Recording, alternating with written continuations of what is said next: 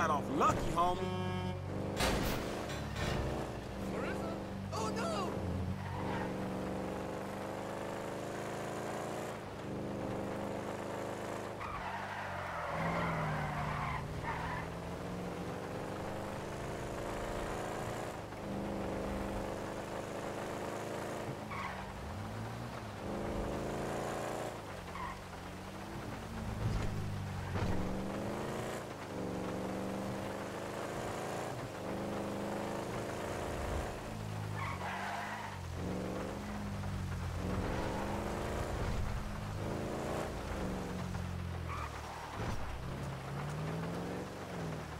Hey, buddy.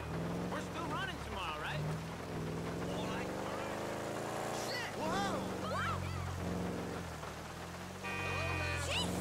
Get out of the way! Mariaco! Whoa!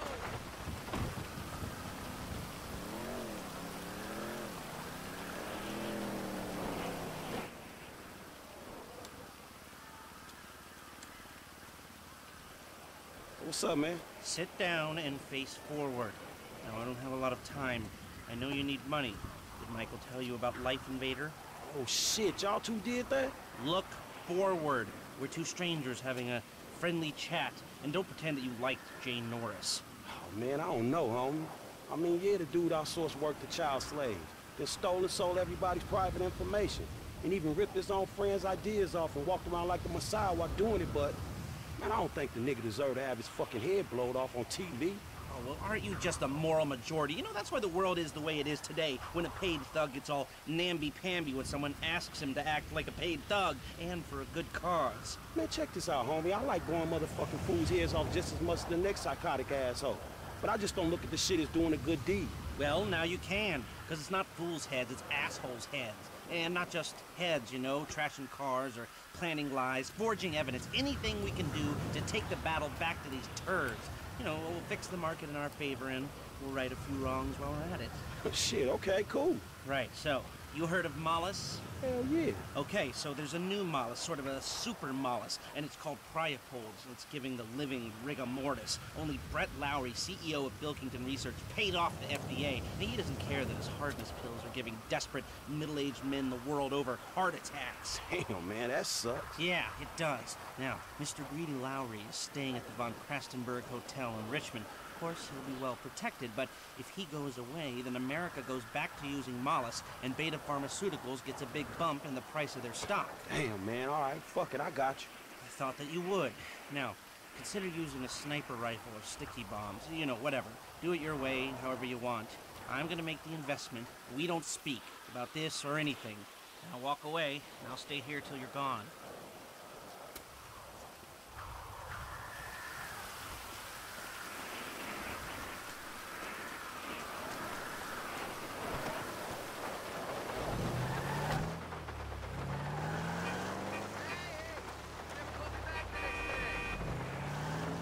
You want to taste the Tai Chi? Keep it up.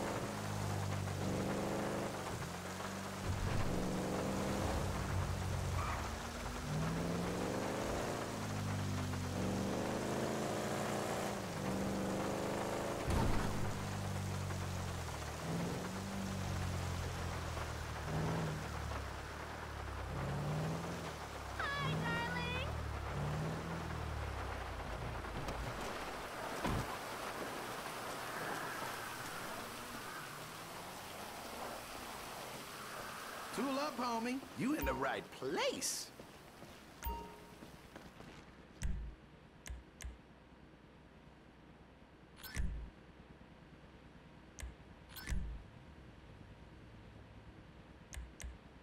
You look like you're fuming. Best time to make weaponry decisions.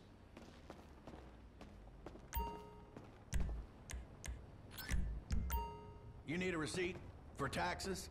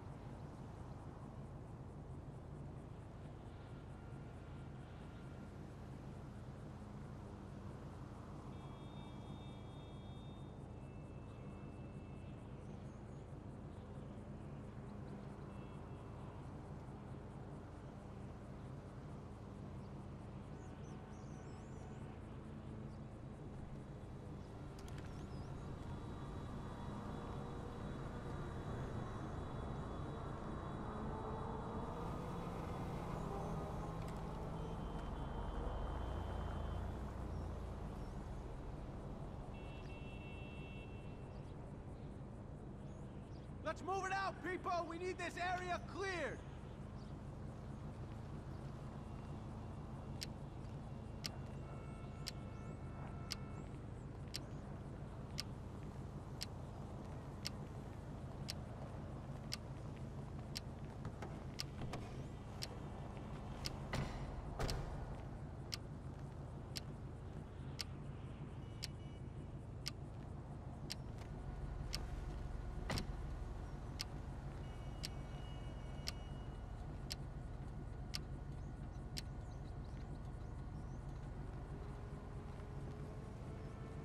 Keep your eye out for anything unusual. Let's see if we can get through one day without some wannabe hippie waving an anti-globalization sign in my...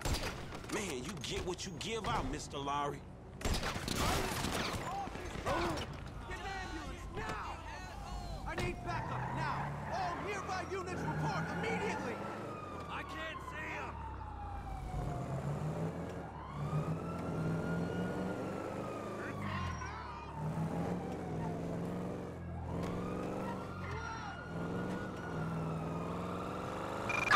Suspect northbound on um, Morningwood Boulevard in Morningwood.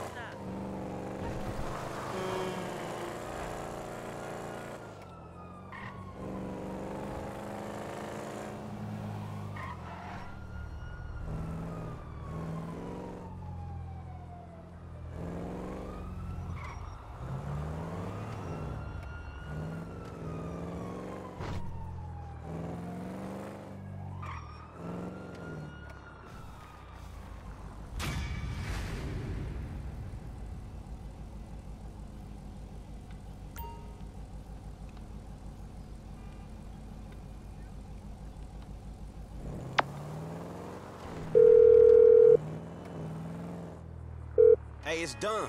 I know. Good work. All right, well, shit, let me know about the next thing.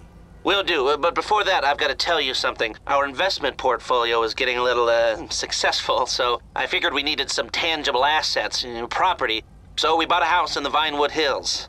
Yeah, sure, man, whatever. You know best about this shit. And we needed someone to live there you know, for tax purposes, so some guys are moving your stuff in. Oh, shit. Meaning I don't have to live with my crazy ass aunt no more? Man, I don't know what the fuck to say, dawg. Don't say anything, especially if a man in a suit comes to the door. Ah, I'm joking. That probably isn't gonna happen. It's yours. Enjoy it. 3671 Wispy Mound Drive.